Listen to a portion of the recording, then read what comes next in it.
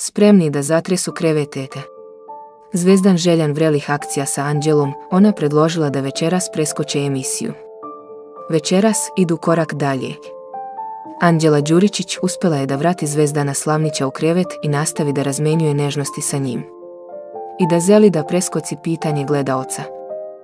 Ona mu se požalila da bi večeras preskočila emisiju pitanja gledalaca, a on je predložio da večeras prvi put budu intimni.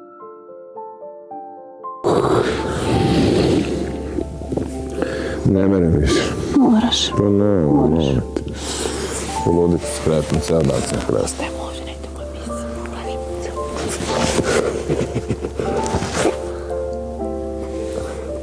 Šta ste? Ostajemo ovdje, ne idemo. Da vodimo ljubav.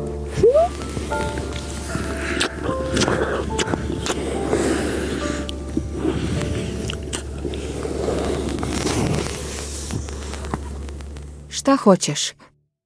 Ne mogu više u krevet, ukočio sam se, rekao je Zvezdan. Vidiš kako hoćeš, mora.